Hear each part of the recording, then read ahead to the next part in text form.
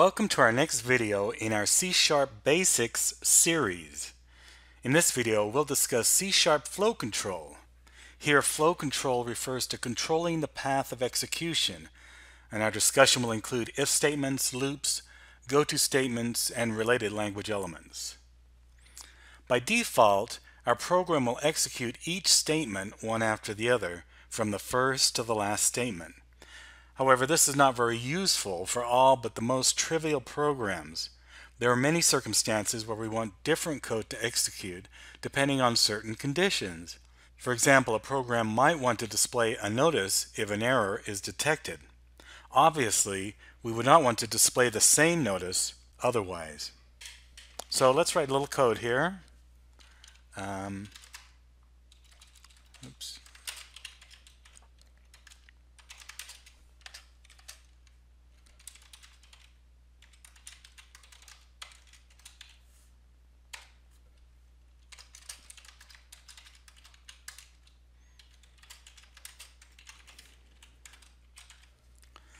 So this code starts by declaring an integer value called value and it declares a string called s.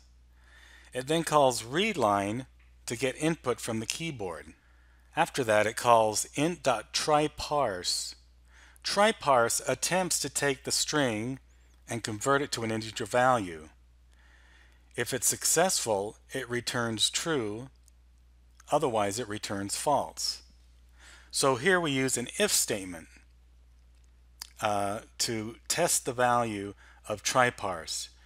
Uh, an if statement will execute the code in the middle of these curly braces if that value is true, otherwise it will not. And so let's uh, print a little message here.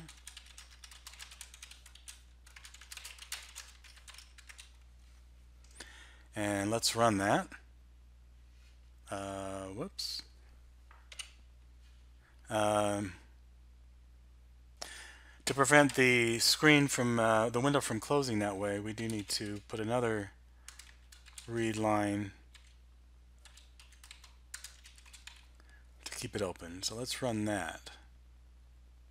And I'm type 123 and it says got an integer. And let's try it again and this time I'll put ABC and we don't get that message uh, got an integer. So the if statement is only executing the following block of code if the condition is true. In this case we only have a single line and so we don't need the curly braces. Uh, they're optional. But if you might have multiple lines then you do need the curly braces all of the lines within the curly braces will be executed if the condition is true. A companion keyword to the if statement is the else keyword.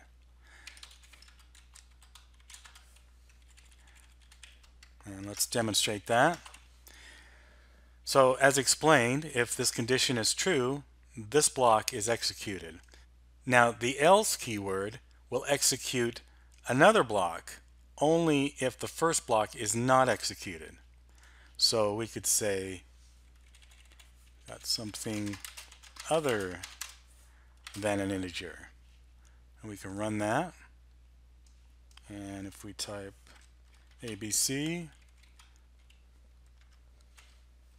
we get the second block. So when the code's written like this, it'll always be one or the other. Either this one executes or this one will execute. The switch statement works similar to if-else in that it allows you to execute different code depending on a particular value. It's probably a little cleaner for when there are many possible values and for when the amount of code to execute for each value is relatively small. So let's demonstrate the switch statement. We're going to switch on value.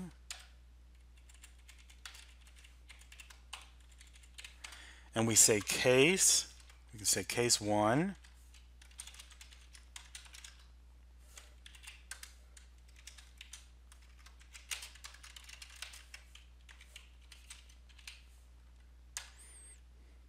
And then we do a break so that the code in the following cases is not executed.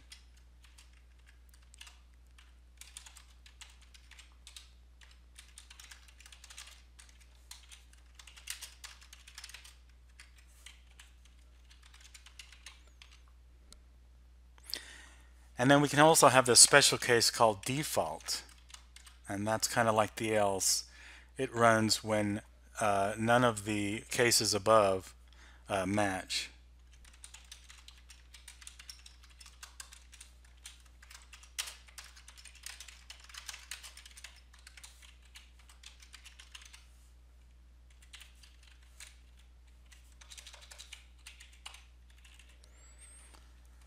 So we can run that.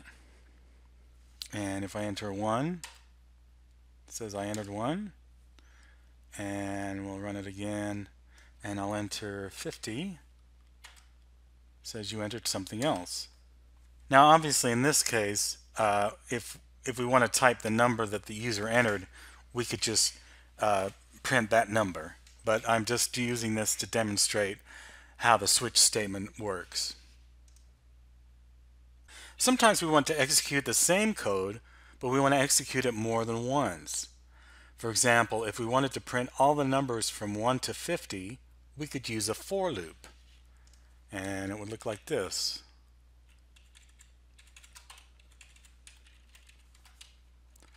We say for int i equals 0, uh, let's say 1. i is less than, less than or equal to 50 and i plus plus.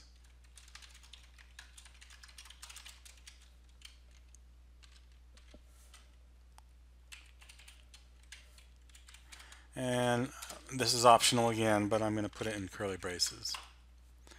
And let's run that. So you can see that it's printed every number from 1 to 50 in a very small amount of code. A for loop first executes the initializer, which is this section here. Uh, you can actually have multiple expressions here, each separated by a comma.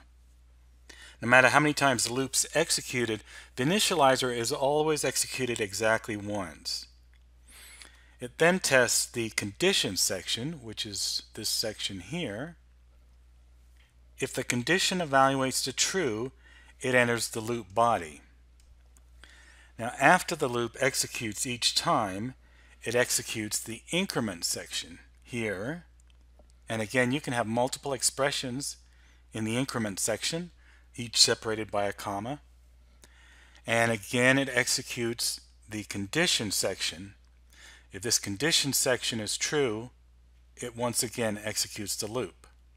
And it'll re keep repeating that pattern until this condition section evaluates defaults. In this example, I'm simply initializing an integer, incrementing it each time to the loop, and then repeating until the integer reaches a certain value. But a for loop can be much more complicated than that. You can also nest loops. For example, you could have other loops inside the body of this loop. But be sure to use a different variable to track your iterations for example, if your inner loop changed the value of the i variable, that would affect the number of times the outer loop executes. Another kind of loop is the while loop. Let's try to rewrite this same logic except using a while loop.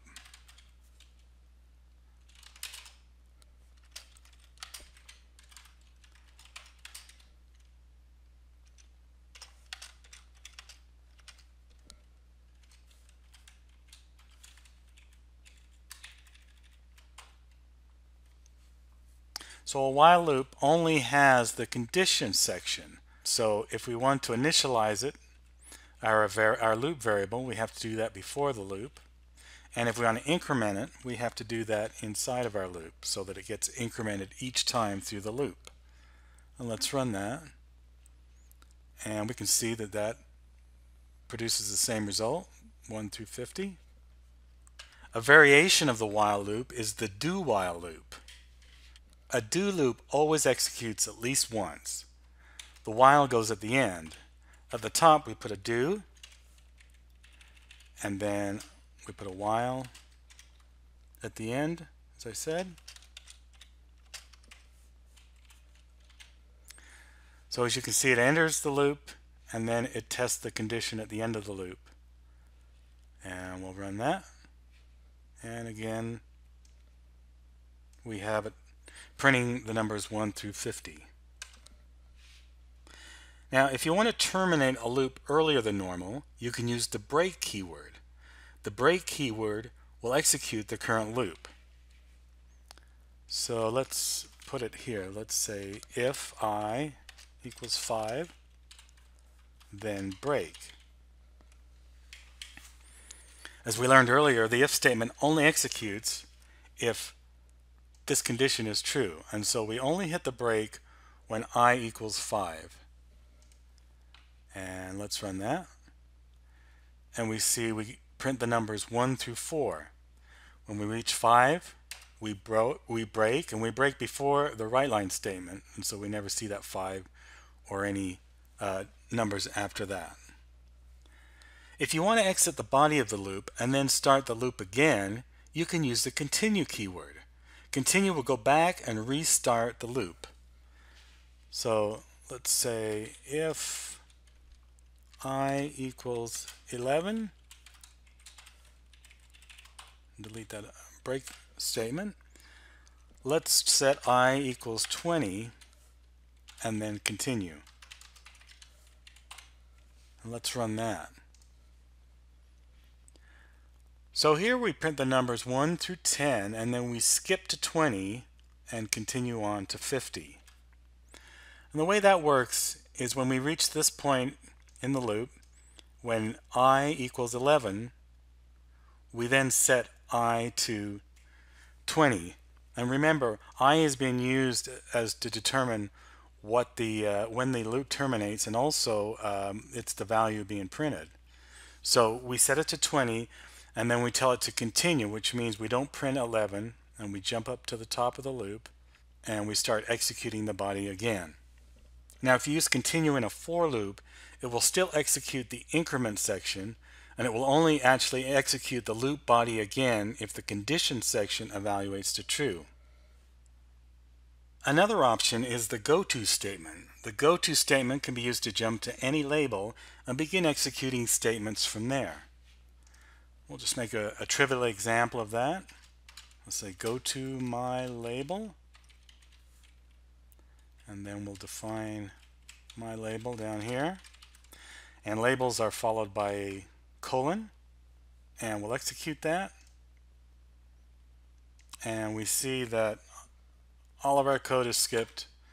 And uh, it doesn't really do anything at all now. So early programmers didn't have the rich collection of functions and loop constructs that we have today. They relied on goto or jump statements to branch execution as needed.